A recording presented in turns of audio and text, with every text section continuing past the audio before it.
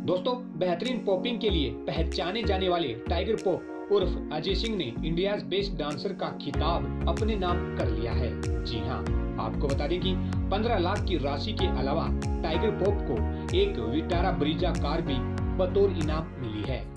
बता दें कि विनर बनने के बाद एक इंटरव्यू में खास बातचीत के दौरान टाइगर पॉप ने बताया कि वे इस जीती हुई राशि से अपनी माँ के लिए एक घर खरीदना चाहते हैं। जी हाँ दोस्तों, अपनी बातचीत में टाइगर पॉप ने बताया कि गुरुग्राम से यही सपना लेकर मुंबई आया था कि मुझे यह शो कैसे भी जीतना है। और आखिरकार मेरी मेहनत रंग लाई।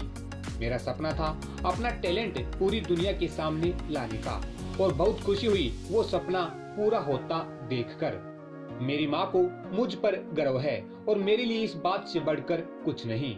दोस्तों टाइगर पॉप ने आगे यह भी बताया कि मेरी माँ दूसरों के घरों के बर्तन मांजती थी, लेकिन अब वो ये काम नहीं करेंगी। ऑडिशन के वक्त मेरी माँ का सर झुका हुआ था और जिस दिन मेरी जीत हुई, उस दिन भी उनका सर झुका हुआ था। माँ बहुत ही साधारण औरत है और उनका हर सपना मेरा सपना है। विनर बनने के बाद मेरी माँ फुट फुट कर रोने लगी।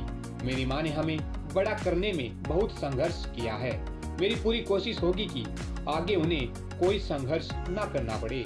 दोस्तों टाइगर पॉप ने यह भी कहा कि आगे चलकर मैं अपने देश का नाम पूरी दुनिया में रोशन करना चाहता हूँ और इंटरनेशनल लेवल पर अपनी परफॉर्मेंस दिखाना चाहता हूँ और भारत का झंडा हर देश में लहराने की ख्वाहिश है, जिसके लिए पूरी मेहनत करूँगा। जी हाँ वैसे दोस्तों इंडिया बेस्ट डांसर 2020 के विनर टाइगर पोप की ये खास इंटरव्यू की खास बातें आपको कैसी लगी?